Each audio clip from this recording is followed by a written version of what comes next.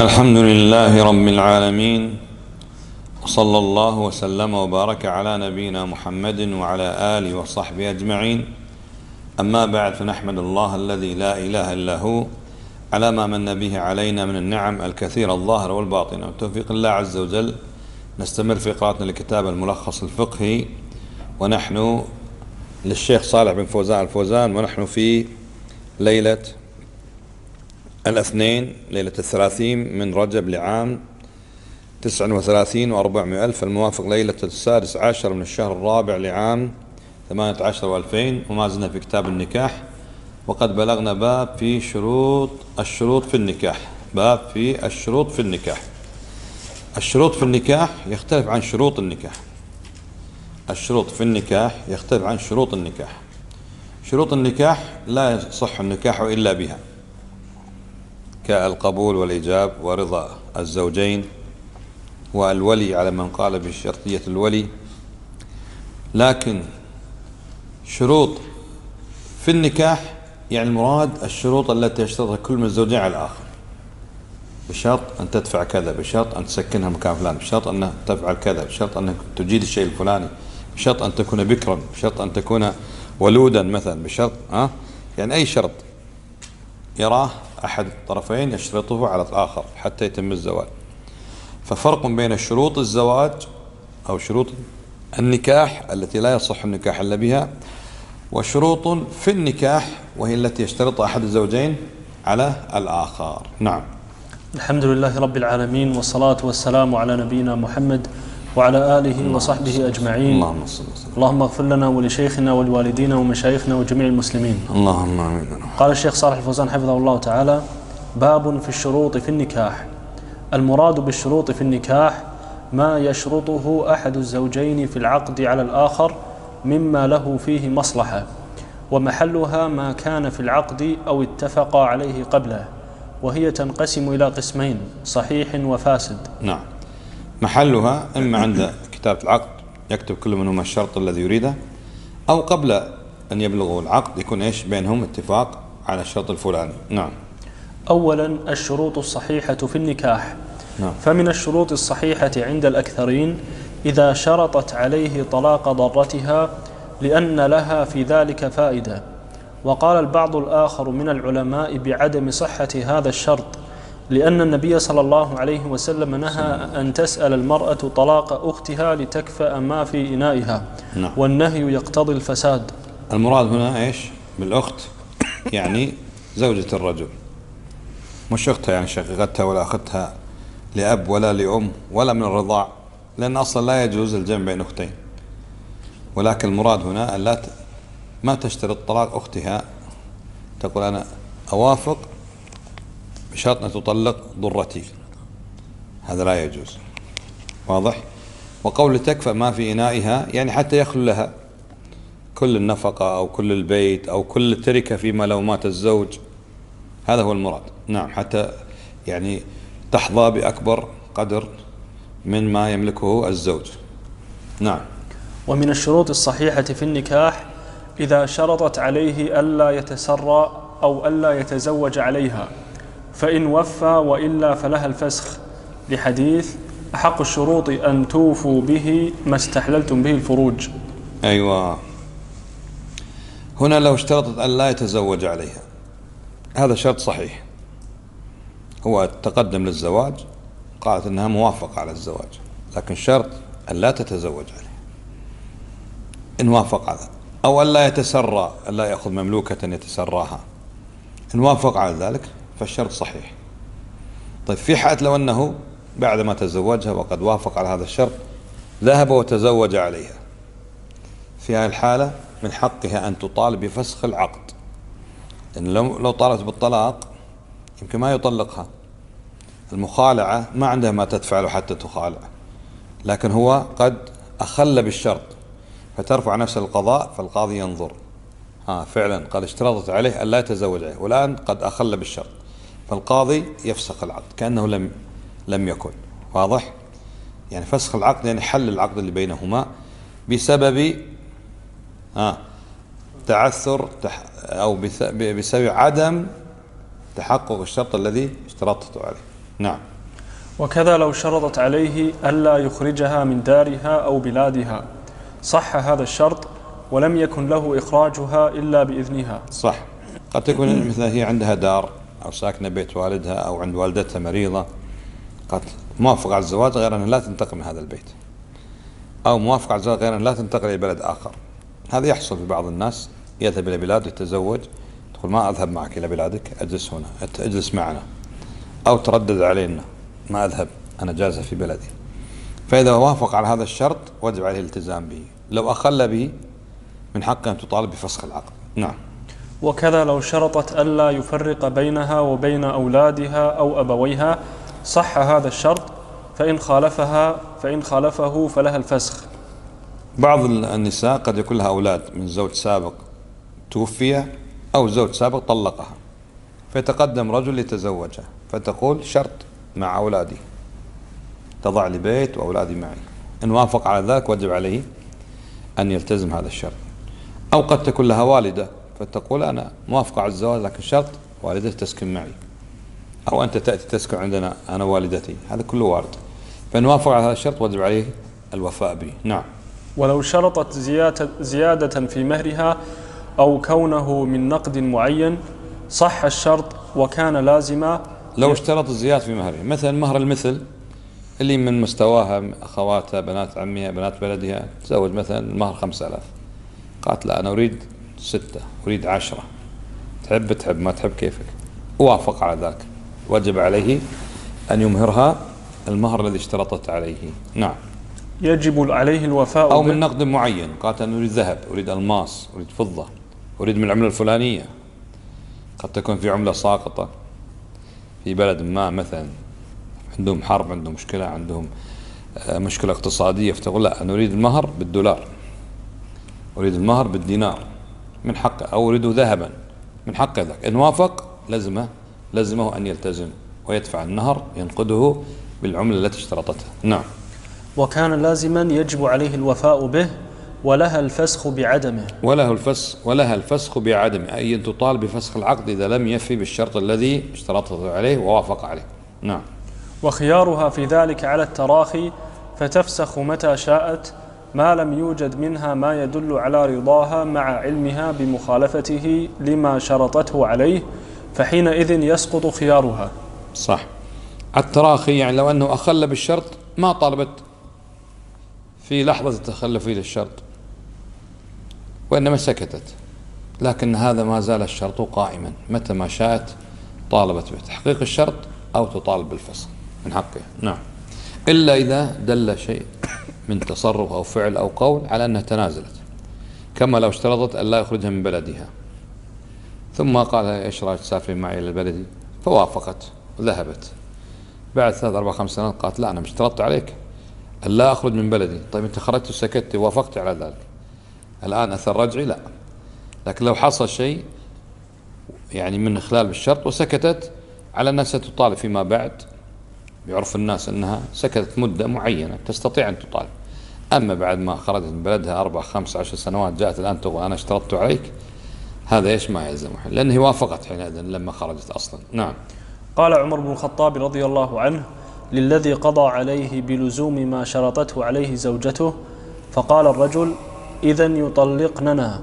فقال عمر مقاطع الحقوق عند الشروط ولحديث المسلمون على شروطهم. قال العلامة ابن القيم يجب الوفاء بهذه الشروط التي هي أحق أن يوفيها وهو مقتضى الشرع والعقل والقياس الصحيح. فإن المرأة لم ترضى ببذل بضعها للزوج إلا على هذا الشرط ولو لم يجب الوفاء به لم يكن العقد عن تراض وكان إلزاما بما لم تلتزمه وبما لم يلزمها الله به ورسوله صلى الله عليه وسلم. اللهم المسلمون على شروطهم. المسلم هذا خبر. بمعنى الإنشاء. يعني كونوا على شروطكم أيها المسلمون. أو بمعنى يعني هكذا ينبغي هكذا يجب أن يكون المسلمون على شروطهم. إذا اشترط أحدهم على الآخر وجب على الآخر أن يلتزم بالشرط الذي اشترط عليه ووافق عليه. نعم. ثانيا الشروط الفاسدة في النكاح والشروط الفاسدة في النكاح نوعان. الأول شروط فاسدة تبطل العقد وهي أنواع ثلاثة. الأول نكاح الشغار وهو أن يزوجه موليته, موليته بشرط موليته. أحسن عليكم. وهو أن يزوجه موليته بشرط بشرط أن يزوجه الآخر موليته ولا مهر بينهما. سمي شغارا من الشغور وهو الخلو من العوض. وقيل سمي شغارا من شغر من شغر الكلب إذا رفع رجله ليبول شبه قبحه بقبح بول الكلب. وهذا النوع جعلت فيه امرأة بدل بدل امرأة وقد أجمعوا على تحريمه وهو باطل يجب التفريق فيه سواء كان مصرحا فيه بنفي المهر أو مسكوتا عنه. لحديث ابن عمر رضي الله عنهما أن النبي صلى الله عليه وسلم نهى عن الشغار والشغار أن يزوج الرجل ابنته على أن يزوجه الآخر ابنته وليس بينهما صداق. متفق عليه. وقال الشيخ تقي الدين وفصل الخطاب أن الله حرم نكاح الشغار لأن الولي يجب عليه أن يزوج موليته إذا خطبها كفء ونظر ونظره لها نظر مصلحة لا نظر شهوة والصداق حق لها لا له وليس للولي ولا للأب أن يزوجها إلا لمصلحتها وليس له أن يزوجها لغرضه لا لمصلحتها وبمثل هذا تسقط ولايته ومتى كان غرضه أن يعاوض فرجها بفرج الأخرى لم ينظر في مصلحتها وصار كمن زوجها على مال له لا لها وكلاهما لا يجوز. وعلى هذا لو سمى صداقا حيلة والمقصود المشاغرة لم يجز كما نص عليه أحمد لأن مقصوده أن يزوجها بتزوجه الأخرى. والشرع بين أنه لا يقع هذا إلا لغرض الولي لا لمصلحة المرأة. سواء سمي مع ذلك صداق أم سمى. أحسن الله عليكم. سواء سمى مع ذلك صداقا أو لم يسم. كما قاله معاوية ومعاوية وغيره. وأحمد جوزه مع الصداق المقصود دون الحيلة مراعاة لمصلحة المرأة في الصداق. فإذا فإذا سمي انتهى. فإذا؟ انتهى. فإذا سمي لكل واحدة منهما مهر مستقل كامل بلا حيلة مع أخذ موافقة المرأتين صح ذلك لانتفاء الضرر. طيب هذا نكاح الشغار من أنكحة الجاهلية. يأتي الرجل عنده بنت لآخر عنده بنت. فيقول أزوجك ابنتي؟ مقابل أن تزوجني ابنتك. لا الأول يدفع مهر ولا الثاني يدفع مهرا. لا الأول يدفع مهرا ولا الثاني يدفع مهرا. دفع كل منهما ماذا ليأخذ يحصل على الزواج من ابنة الآخر ابنته. فهذه المبادرة بهذه الطريقة لا تجوز. لأن حينئذ المصلحة صارت للولي لا للم... لا ليش للمرأة. والصداق أصلا هو حق للمرأة. حتى الزوج لا يجوز له أن يأخذ من صداقها. قال جل وعلا وآتوا النساء صدقاتهن نحلة. يعني فريضة. فإن طبن لكم عن شيء من نفسا فخذوه هنيئا مريئا. فكلوه هنيئا مريئا.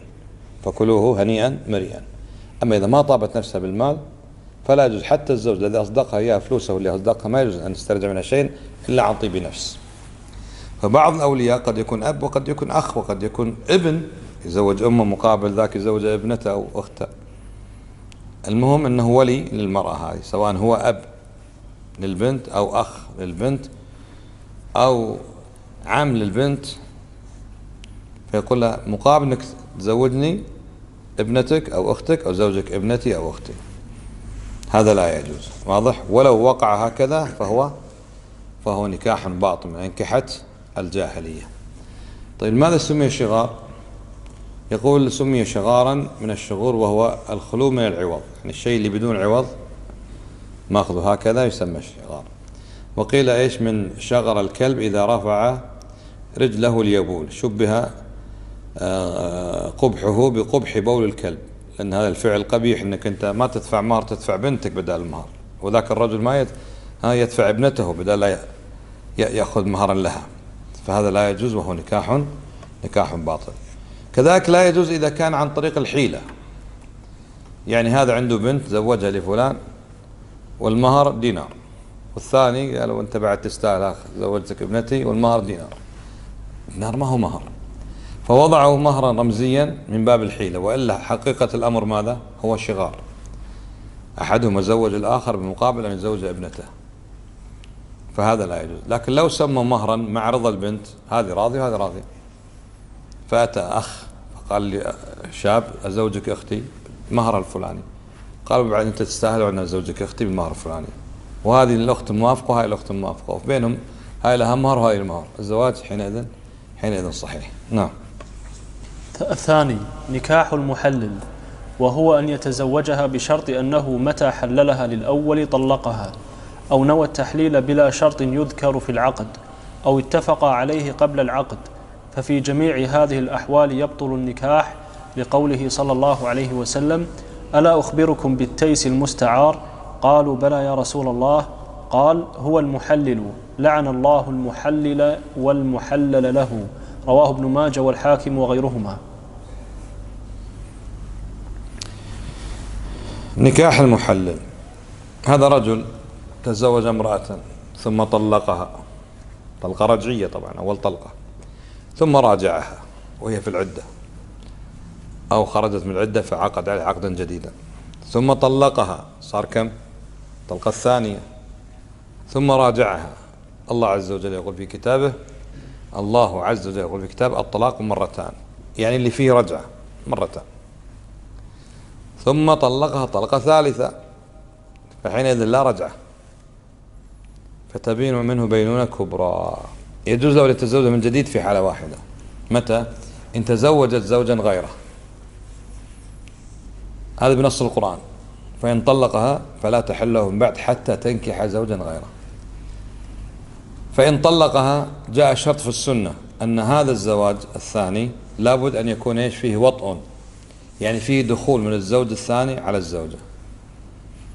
جاء في السنة امرأة أرادت أن ترجع الزوج الأول ولم يدخل بها الزوج الثاني لعجز فيه.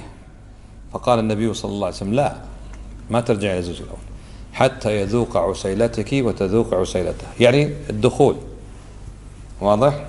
فهذا جاء في السنة. فإذا طلقها الزوج الثاني أو مات عنها جاز للزوج الأول يأتي ويتزوجها. فبعض الناس قد يطلق زوجته مرة ومرتين والطلقة الثالثة فحرمت عليه. فماذا يفعل؟ يأتي بصديق له أو أي إنسان يستأجره. إيش رأيك أعطيك المال الفلاني وتزوج فلانة وادخل عليها وطلقها. لماذا؟ حتى يستطيع هو إيش؟ أن يتزوجها مرة أخرى. فهذا حللها له. في هذه الحالة لا تتحلل. الزواج باطل ولا تتحلل وإنما تحل له فيما لو تزوجت. لا بنية التحليل الزوج الأول وإنما الزواج كالمعتاد ودخل عليها ثم ما جازت له طلقها أو مات عنها بعد الدخول. جاز الزوج الأول يأتي ويتزوجها أما إذا كان في اتفاق سواء في العقد هم جاي يعقدون ها زوجك إياها لكن ليلتين ثلاث تدخل عليها بعدين تطلقها عشان عشان ابو عيالها وعلشان متعلق بها ويريدها ما تتحلل هذا حرام. جاء في حديث اللي هو التيس المستعار لكن الحديث فيه ضعف لكن مشروع عند الفقهاء أن إيش؟ يسمى هذا الزوج اللي أتى فقط يتزوجها حتى يطلقها وتحل الزوج الأول بالتيس المستعار واضح؟ إذا كان في اتفاق سواء مكتوب أو شفهي أو حتى لو بالنية يعني واحد رأى صديقا له أو أخاه قد تعذب بفراق زوجته فيقول خليني أروح أذهب وأتزوجها ثم أدخل عليه ثم أطلق علشان صاحبي. بهذه النية ما تتحلل. إنما الأعمال بالنيات إذا تتزوجها بنية يحللها أول ما يجوز. أما يتزوجها على سبيل الزواج كالمعتاد ويدخل عليها ثم إذا رأى أن يطلقها وطلقها أو مات عنها جاز الزوج الأول يأتي ويتزوجها. واضح؟ طيب كمل. ثالثا إذا علق عقد النكاح على شرط مستقبل كأن يقول زوجتك إذا جاء رأس الشهر أو إن رضيت أو إن رضيت أمها فلا ينعقد النكاح مع ذلك لأن النكاح عقد معاوضة فلم يصح تعليقه على شرط. نعم. قال له زوجني ابنتك فلانة. قال زوجتك زوجتك ابنتي فلانة ها السنة القادمة أو رأس الشهر أو بعد رمضان. هذا ما ما يصح لا أو إن رضيت أمها أو إن وافق أخوها أو إذا تخرجت ما يصلح. لأن النكاح يعني لا يصح تعليقه بهذه الطريقة. زوجتك نعم زوجتك قبلت؟ قبلت. حتى لو قال إن شاء الله وقصد بذلك التعليق إن شاء الله. طيب إن شاء الله وقد لا يشاء الله. قل زوجتك أو أنكحتك. لابد من إنجازه من غير تعليق على أي شيء من الأشياء. نعم. وكذا لو زوجه إلى مدة كما لو قال زوجتك وإذا جاء غد فطلقها أو قال زوجتكها شهرا أو سنة. بطل هذا النكاح. كما إيش؟ وكذا لو؟ وكذا لو زوجه إلى مدة كما لو قال زوجتك وإذا جاء غد فطلقها. نعم. أو قال زوجتكها شهرا أو سنة. بطل هذا النكاح المؤقت وهو نكاح المتعة. نكاح المتعة نكاح مؤقت باطل. كان مباحا ثم نهي عنه. وأهل السنة يجزمون بتحريمه وبطلانه ما يجوز. حتى إذا قال النكاح باطل وهذا في زنا يرد هذا الرافض ويقول طيب يعني كان الزنا مباحا؟ لا ما كان الزنا مباحا. كان الأمم السابقة الرجل يتزوج أخته. أول ما خلق الله آدم عليه السلام الأخوة يتزوجون ثم جاء التشريع وحرم ذلك. كان الرجل ممكن يجمع بين الأختين يجمع بين البنت وعمتها البنت وخالتها. كان يتزوج زوجة أبيه بعد وفاته. فنسخت هذه الأحكام. إذا نسخ فلا يجوز. الآن لو شرب أحد خمرا كان مباحا فأصبح حراما فيأتي يستدل بإباحته قبل النسخ. هذا فاسق فاجر إذا شرب الخمر. ما يقال طيب الصحابة اللي كانوا يشربون فساق فجار ما كان حراما آنذاك. لم يكن من الكبائر بحيث لو شرب الإنسان خمر في آنذاك يعتبر يعني أتى بكبيرة ولا فاسق ولا فاجر. لكن بعد ما حرم بعد ما أصبح من الكبائر حرام ما يجوز الإنسان يشرب الخمر. ولا يجوز أن يتزوج زواج آه، متعة بعد أن ولو كان مباحا قبل النهي. واضح؟ والعجيب أن تحريم نكاح المتعة رواه علي بن أبي طالب رضي الله عنه كما صحيح مسلم عن النبي عليه الصلاة والسلام. فحرم إلى الأبد لا يجوز. فمن تزوج بتاريخ معين ينتهي الزواج بهذا التاريخ يسمى زواج متعة زواج مؤقت. وهذا الزواج المتعة زواج مؤقت مع أنه حرام لابد أن نعرف الفروق بينه وبين الزواج الصحيح. زواج المتعة بتاريخ معين بحيث إذا انتهى التاريخ ينتهي الزواج من غير طلاق. خلاص انتهت صلاحيته.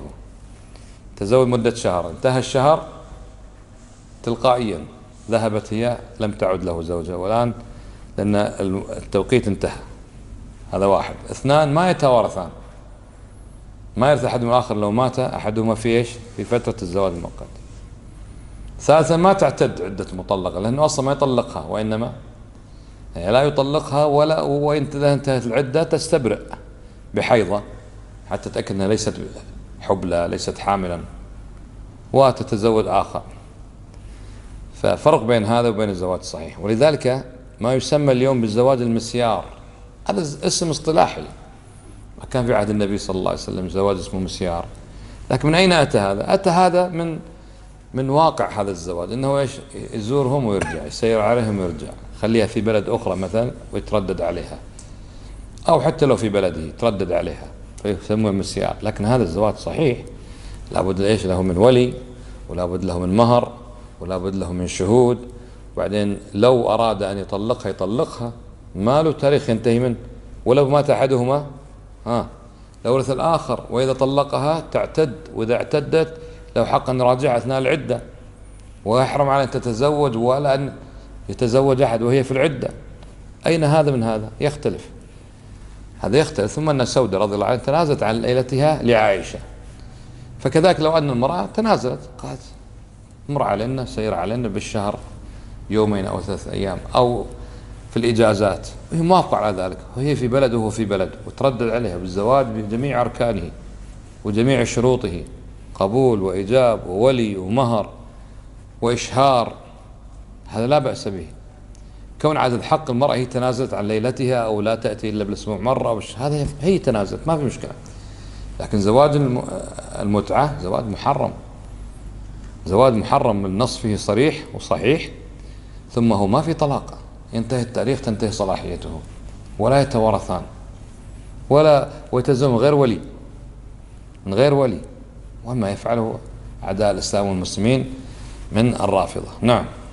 قال الشيخ تقي الدين الروايات المستفيضة المتواترة متواطئة على أن الله تعالى حرم المتعة بعد إحلالها. طبعا الرافضة يزعمون أن الذي حرم نكاح المتعة عمر الخطاب ليس بصحيح.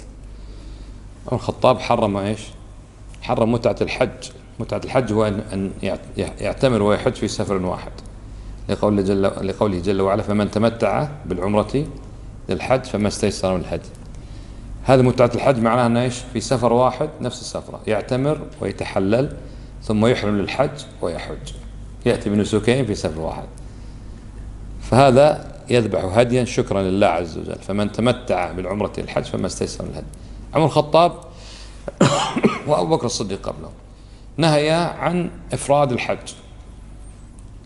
عفوا نهي عن التمتع. وأمر بإفراد الحج. لما؟ قال حتى لا ينقطع البيت من الزوار. الناس فقط يأتون موسم الحج حج عمرة وحج عمرة وحج أيام السنة ما يأتي أحد. ثم عاد شوف كيف الناس يعني تهوي إلى هذا البيت في طول, طول أيام السنة.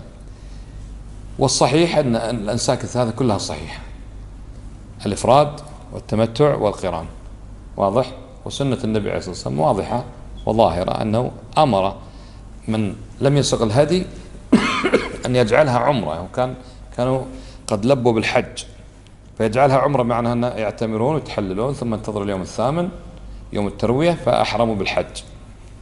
فصار هذا هو السنة أنه يجوز أو ربما يستحب عند بعض العلم وبعضهم قال واجب اللي هو التمتع. عمرة يتحلل منها يحج. أما متعة الزواج تزوج زواج مؤقت لم يحرمه عمر حرمه النبي عليه الصلاة والسلام. واضح؟ وإن كانوا يتمتعون قبل ذلك. نعم. وقال القرطبي الروايات كلها متفقة على أن زمن إباحة المتعة لم يطل وأنه حرم ثم أجمع السلف والخلف على تحريمها إلا من لا يلتفت إليه من الروافض. من الروافض نعم. ثانيا شروط فاسدة لا تفسد النكاح. لو شرط في عقد النكاح إسقاط حق من حقوق المرأة كأن شرط أن لا مهر لها أو لا نفقة. أو شرط أن أن يقسم لها أقل من ضرتها. فإنه في هذه الأحوال يفسد الشرط ويصح النكاح لأن ذلك الشرط يعود إلى معنى زائد في العقد لا يلزم ذكره ولا يضر الجهل به. نعم. هذه الشروط اسمها شروط فاسدة. يعني يفسد الشرط فقط ما يفسد العقد. العقد صحيح. طيب لو اشترط عليها أقل من ضرتها هذا يلزم موافقتها. إذا ما وافقت لا يقسم لها كما يقسم لضرتها. واضح؟ نعم. ومن ذلك أنه إذا شرطها مسلمة فبانت كتابية فالنكاح صحيح وله خيار الفسخ. لأن الكتابية العفيفة يجوز الزواج منها. نعم. ومن ذلك أنه إذا شرطها بكرا أو جميلة أو ذات نسب فبانت بخلاف ما اشترط فله الفسخ لفوات شرطه. فله الفسخ يعني لو ما فسخ قال خلاص أنا اشترط أنها جميلة ووصفوها أنها جميلة فلما دخل عليها وجدها ليست جميلة. قال يلا أهم شيء الدين وأفق عليها. هون العقد صحيح. واضح؟ نعم. ومن ذلك أنه إذا تزوج امرأة على أنها حرة فتبين أنها أمة. فإن كان ممن لا تحل لا يحل له تزوج الإماء فرق بينهما. وإن كان ممن يحل له ذلك فله الخيار. من الذي يحل له يتزوج الأمة؟ مر مع الدرس الماضي. ذلك لمن خشي العنة منكم. يعني الذي يخشى المشقة الشديدة لو لم يتزوج. وليس عنده قدرة أن يتزوج حرة ولا أن يشتري مملوكة. فذهب وتزوج مملوكة. ما يستطيع يتزوج حرة ولا يشتري مملوكة. فذهب وتزوج مملوكة. إذا كان يخشى العنت قال جل وعلا ذلك لمن خشي العنة منكم. يعني المشقة الشديدة ما يستطيع يصبر ولا يستطيع يتزوج حرة ولا يستطيع يشتري مملوكة. لماذا؟ لأنه لو تزوج زواج من مملوكة أولاده سيكون إيش؟ أرقاء. أولاده مماليك واضح؟ حر. تزوج مملوكة. مملوكة عند ناس يعني. مش مملوكة كانت مملوكة واعتقت. إذا اعتقت ما يقع مملوكة. خلاص أصبحت حرة. لكن هي ما زالت مملوكة عند الناس.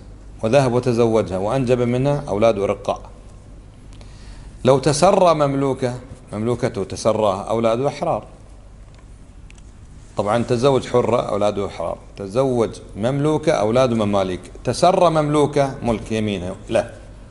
أولاده أحرار. فلأن الأولاد سيكون مماليك فيما لو تزوج مملوكة يكره كراهة شديدة. إلا في حالة واحدة. قال جل وعلا ذلك لمن خشي العنة منكم وأن تصبروا خير لكم. والعنة المشقة الشديدة اللي ما يستطيع الإنسان أن يبقى بلا زوجة. ولا يستطيع يتزوج حرة ولا يشتري مملوكة. فيتزوج مملوكة. نعم. وكذا لو تزوجت المرأة رجلا حرا فبان عبدا فله الخيار فلها الخيار. نعم. وإن عتقت أمة تحت عبد فلها الخيار. لأن بريرة لما عتقت تحت عبد اختارت مفارقته كما رواه البخاري وغيره. نعم بريرة ومغيث. مملوكة بريرة ومغيث. فبريرة كاتبت سيدها. كاتبت يعني بينه وبين كتاب تعطي المبلغ فلان مبلغ فلان أقساط يسمونه نجوم. متى ما تمت المبلغ تصبح حرة شرت نفسها يعني. لكنها مكاتبة تدفع شيئا فشيئا. وزوجها ما اسمه؟ مغيث. طيب؟ زوج مملوك وهي مملوكة. فعائشة رضي الله عنها ساعدت بريرة على عتق نفسها فأنفقت نفقة واعتقت بريرة فأصبحت بريرة حرة وزوجها مغيث مملوك وكان يحبها حبا شديدا. فرغب أن يستمر معه فأبت هي حرة وهو مملوك ما أبت أن ترجع له. فالنبي صلى الله عليه وسلم لما رأى هذه الحالة وشدة تعلق مغيث ببريرة. أتى إلى بريرة فقال هل لك في مغيث؟ يعني ترجع له. فقالت يا رسول الله تأمرني أم تشفع؟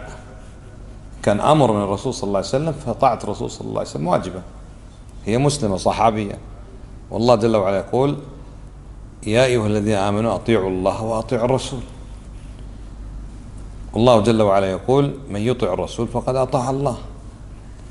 وما أتاكم الرسول فخذوه وما نهاكم عنه فانتهوا. هل أمر منك أني أرجع لمغيث؟ ولا جئت تشفع شفاعة؟ شوف السؤال دقيق. فقال بل أشفع. فقالت لا حاجة لي فيه. وهذا فيه فائدة عظيمة وهي أن الشفاعة ليس بالضرورة أن تقبل.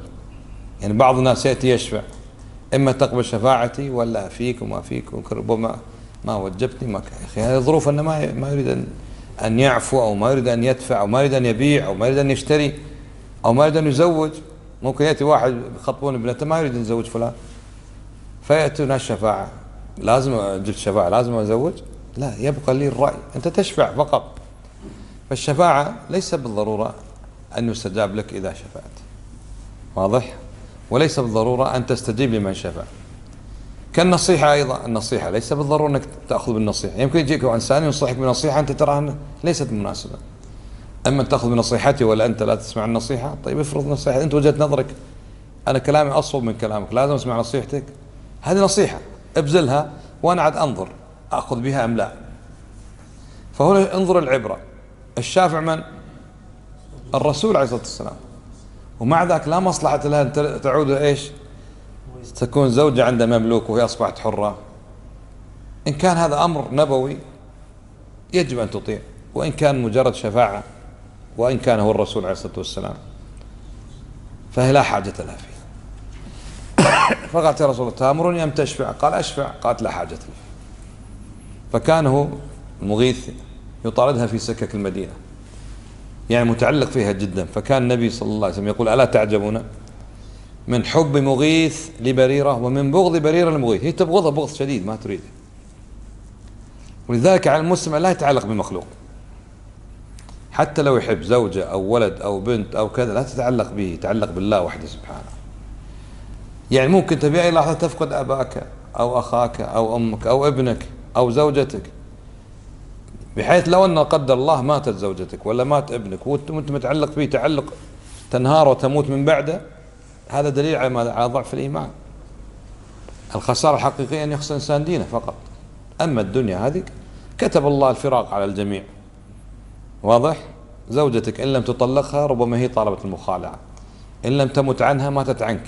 ولا أنت تفقد ولا هي تفقد. لن يظل أحد مع الآخر إلى أن تقوم القيامة. ما يمكن هذا. فالإنسان يوطن, يوطن نفسه بأنه ممكن. يقدر الله عليه إيش؟ وفاة ولد ولا وفاة زوجة ولا مفارقة؟ يكون مستعدا. ويكون إيش؟ همه الأكبر والأعظم هو أن يرضي الله عز وجل. لأنه مخلوق لما؟ لما خلق؟ لأن يعبد الله سبحانه وتعالى. لا يعني هذا الإنسان لا يحب زوجته. لا بالعكس محبة الزوجة يحمد الرجل على محبته لزوجته.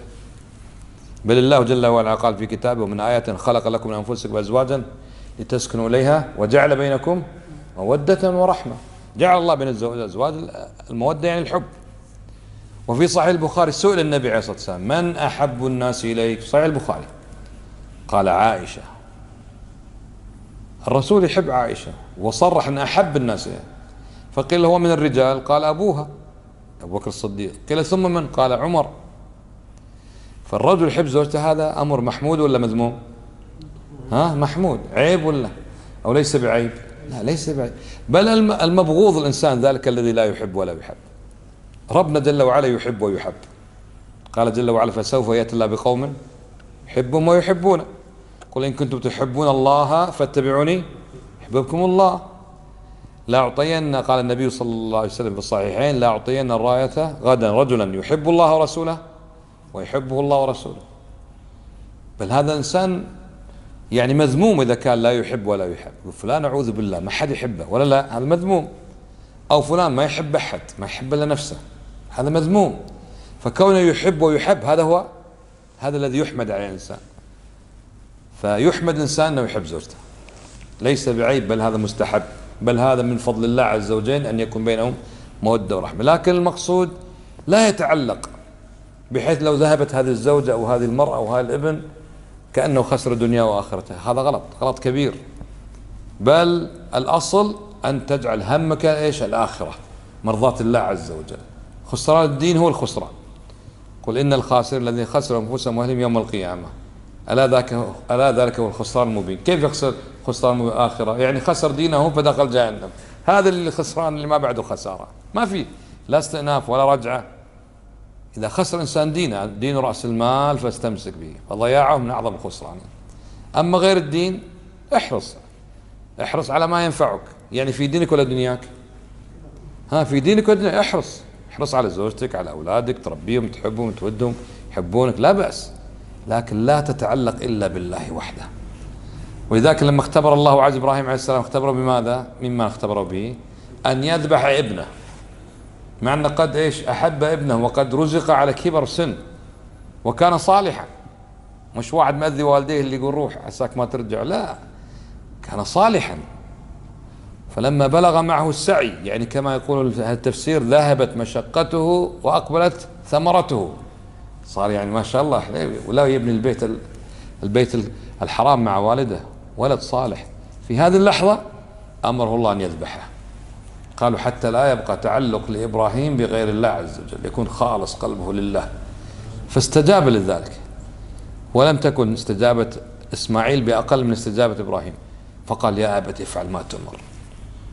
إني أرى في المنام أني أذبحك؟ قال افعل ما تؤمر. يا أبت افعل ما تؤمر. ستجدني إن شاء الله من الصابرين. بهذا رفعهم الله. فذلك الله يقول جل وعلا في كتابه وإذ ابتلى إبراهيم رب بكلمات فأتمهن. ما أمر الله بشيء إلا وأتمه كما ينبغي. كما قال الله النبي محمد صلى الله عليه وسلم فاستقم كما أمرت. فاستقام كما أمره الله. فإذا قال عليه الصلاة والسلام إن الله اتخذني خليلا كما اتخذ إبراهيم خليلا. ما أبقى أحدهما شيء لغير الله في قلبه. فلذلك أحبه الله عز وجل واتخذه خليلا وهي أعلى مراتب المحبة رتبة عالية هذه. واتخذ محمدا صلى الله عليه وسلم خليلا. ونحن نتشبه بهم. وتشبه إن لم تكونوا مثلهم إن التشبه بالكرام فلاح. يعني الواحد يوطن نفسه أنه يجعل الدين هو أهم شيء. محبة الله فوق كل شيء. محبة الله فوق كل شيء. فأمر الدنيا إن أتى حمدنا الله وشكرناه عليه. إن لم يأتي فالحمد لله على كل حال. المهم لا تكن المصيبة في الدين. واضح؟ طيب كمل. باب في العيوب في النكاح. هناك عيوب تثبت الخيار في النكاح منها أن من وجدت زوجها لا يقدر على الوطء لكونه عنينا أو مقطوع الذكر فلها الفسخ. وإن ادعت أنه عنين فأقر بذلك أجل سنة فإن وطئ فيها وإلا فلها الفسخ. طيب باب في العيوب في النكاح. هذه عيوب تكون في أحد الزوجين وذكروا الفقهاء بعض الفقهاء أشياء من ذلك. واليوم زالت العيوب لأن الطب تقدم يقول هذا في كذا وهذا في كذا وهذا في كذا أشياء كثيرة. سابقا كانوا إيش؟ يقول لك عنينا. العنين هو الذي لا يستطيع أن يطأ زوجته. فيه ضعف أو مقطوع الذكر يقال عن مجبوب. له حادث شيء قطع ذكره. جاء تزوج رجل عادي فلما دخل على زوجته وجدته إيش؟ مقطوع الذكر. هذا له حق أن تطالب وتفسخ العقد. لأنه غشهم بذلك ولها مصلحة هي في الزواج. كيف تنجب؟ كيف تعف نفسها وهذا مقطوع الذكر؟ أو عنينا ضعيف أو مخصي. المخصي مدقوق الخصيتين. هذا أيضا ما يستطيع يعاشر. لكن إذا كان عنينا يعني فيه ضعف فماذا يقول يعطى سنة؟ يحاول علاج يحاول يمكن نفسيا في ناس تمر على نفسية ما يستطيع. يمكن مع العلاج يمكن مع إن مضت السنة ولم يطأ زوجته ليس كما يقال ما هو طبيعي. فهذا حينئذ من حق القاضي إذا رفعت نفسها القاضي أن يفسخ العقد. طيب لو هي رضيت به هو عنين لكن تقول خلاص. حاط لي بيت مكنني مشربني. أنا ما عندي لو طلقني أين أذهب. الحمد لله هذا الزوج ممكن.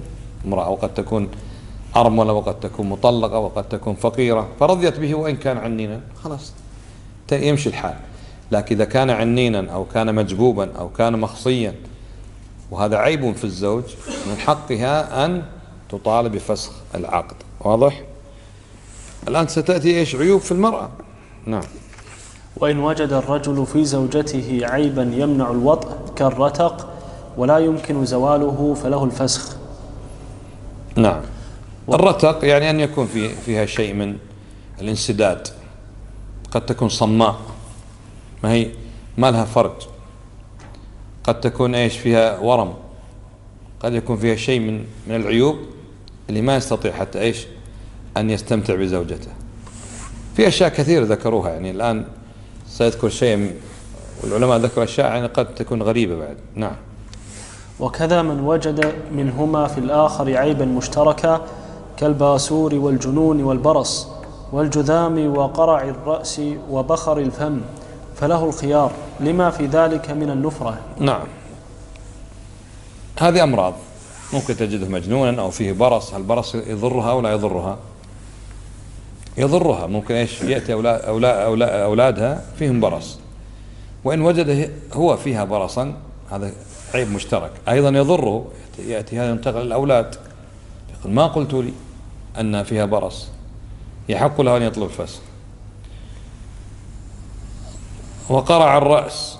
يعني قد يكون بعض الناس في رأسه يعني جروح قراحة يعني فيها دمامل فيها دم. فيها رائحة مرض نسأل الله العافية. يعني مش أصلع ساقط الشعر لا. وإنما في في يعني فروة رأسه مرض.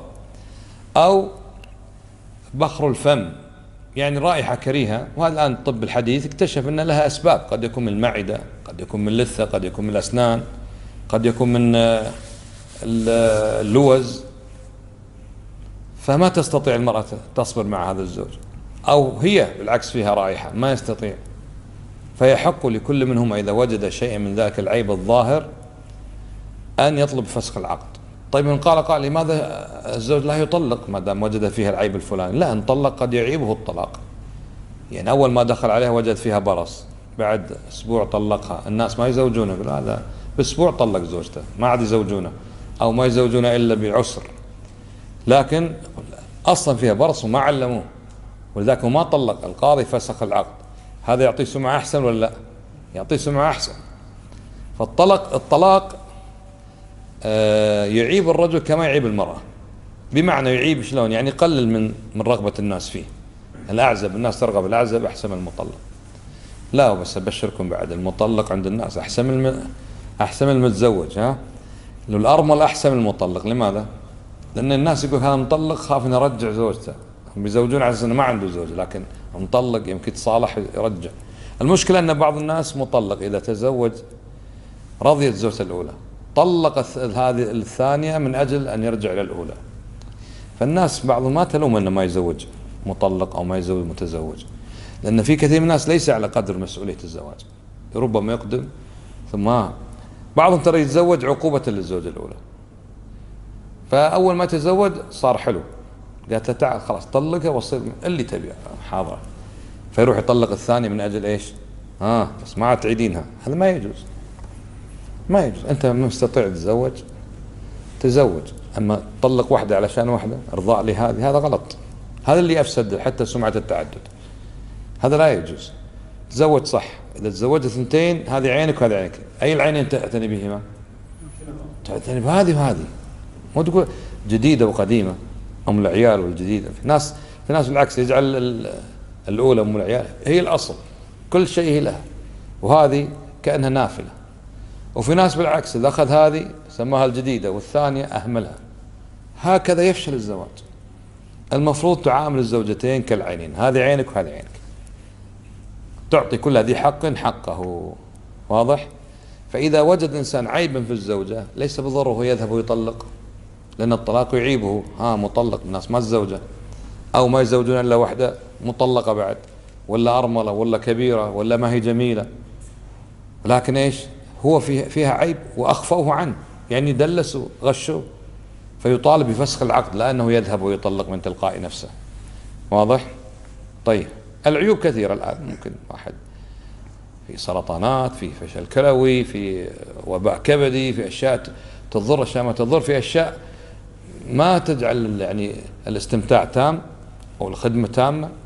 يطلع والله يشوف بالنهار ما يشوف بالليل. يطلع مثلا ضيق النفس. يطلع مثلا شديد الأعصاب. ممكن في مرض نفسي. ممكن يتعاطى علاج نفسي من المستشفى. إذا ترك علاجه شبه مجنون. أشياء كثيرة اليوم. فلازم يكون إيش؟ على بينة. إذا كان في البيع والشراء قال النبي صلى الله عليه وسلم فإن صدق وبين بورك لهما في بيعهما لكن قال فإن كتم وكذب محق محقت بركة بيعهما هذا في والبيع والشراء أهون بكثير من الزواج. فالواجب البيان. الواجب البيان. واضح حتى إيش؟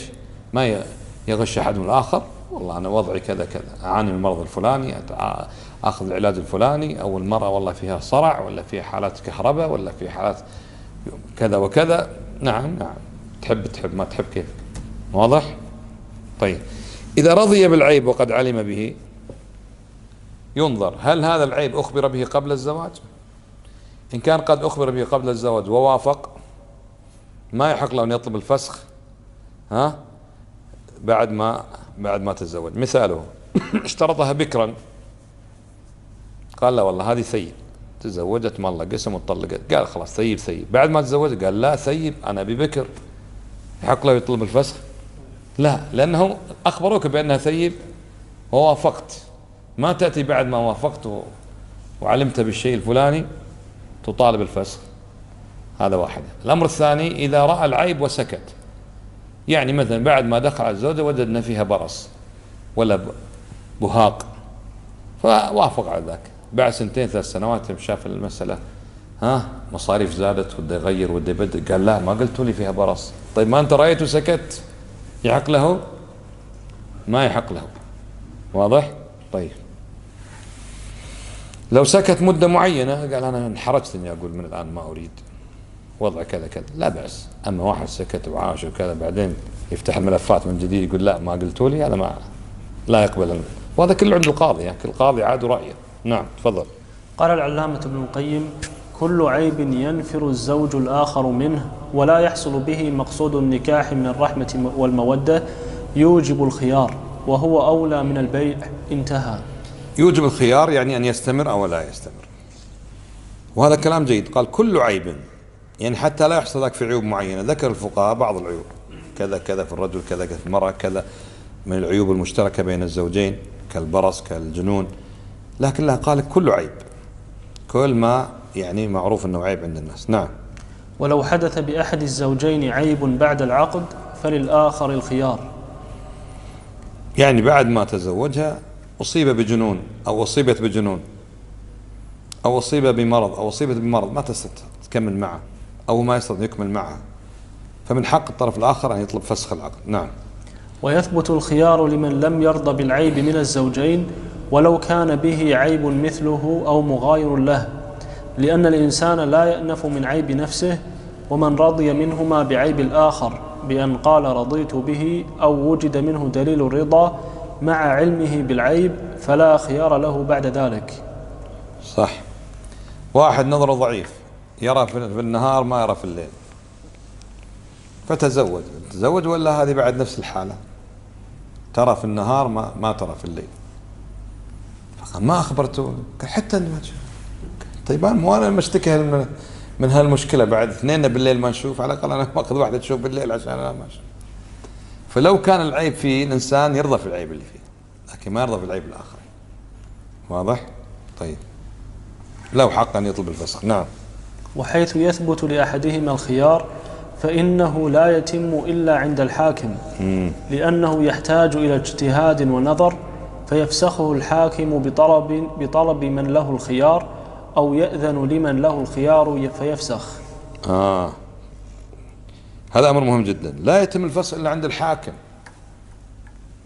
لاحظ.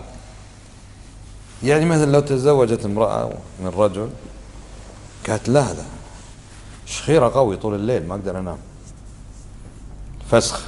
تاموش على كيش فسخ. نروح نشوف الحاكم إيش يقول. إذا اقتنع الحاكم ها؟ إن هذا فعلا عيب يلتزم الفسخ فسخ مش أنت تقرر أنت تدعي إن هذا الشيء الفلاني عيب الفلاني. لأن الآن أكثر الناس خاصة مع ضعف الدين كل واحد يدعي شيء. خاصة هذا مريض نفسي. هذا مريض نفسي هذا عند المحامين يعني الشكوى جاهزة. بس كلمات جاء مدعي مدعي غير بس الأسماء. بالكمبيوتر طلع نسخة ثانية. ها كل واحد يدعي ثاني مريض نفسي. لا والله مو صحيح لا والله هي اللي مو صحيح ما خلصنا. ثم حتى لو كان عنده مثلا ملف الطب النفسي ولا عارض عيادة نفسية مش ليس بالضرورة إنه معنى انه إنه مجنون. مو هذا الطب النفسي الآن هم بعد قال يصير الإنسان في نفسية معينة اكتئاب ما اكتئاب. ما يقول ثلاث أرباع العالم فيها اكتئاب. ما يعني الاكتئاب معنى انه إنه مجنون. فيرفع حينئذ لو أصرت أن هذه تعاطى علاج نفسي كذا تعال قال ما أنكرت وعندي ملفها تعال جيب التقرير وجيب كذا حتى ينظر القاضي هل هذا المرض اللي يعاني منه أو يأخذ له علاج واصل لدرجة الجنون أن تستحق المرأة مع فسخ العقد أو لا؟ ما يكفي أن يدعي أحد الزوجين على الآخر ويطلب فسخ العقد. الفسخ أين يكون؟ آه عند الحاكم حتى ينظر لأنها وجهة نظر تختلف. نعم. وإن, وإن تم الفسخ قبل الدخول فلا مهر لها واضح. إن تم الفسخ قبل الدخول فلا مهر لها نعم. لأن الفسخ إن كان منها فقد جاءت الفرقة من قبلها.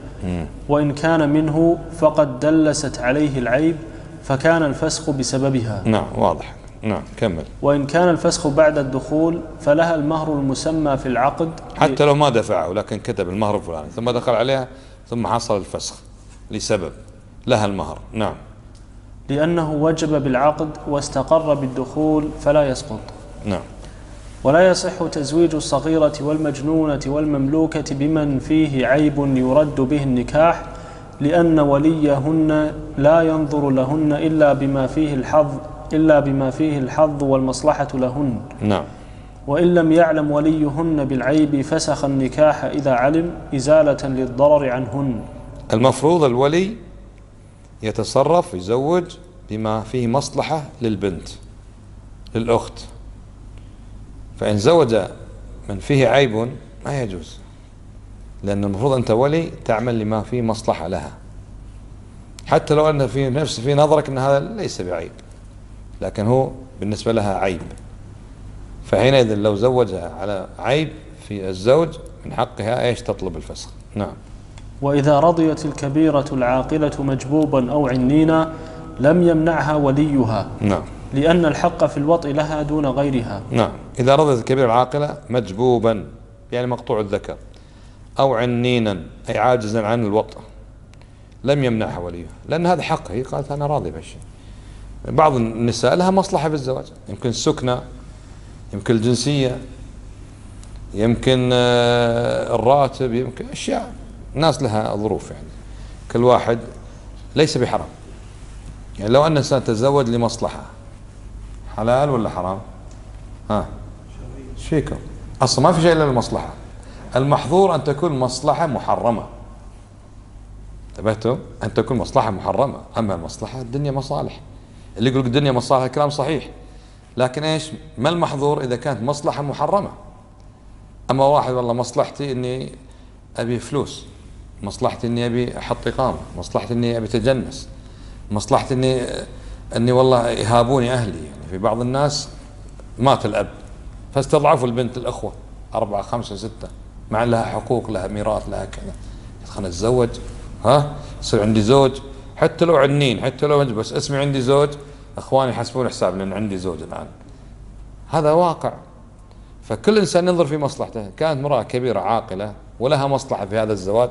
ولو كان هذا مجبوبا أو عنينا وافقت ليس لوليها أن يمنعها واضح؟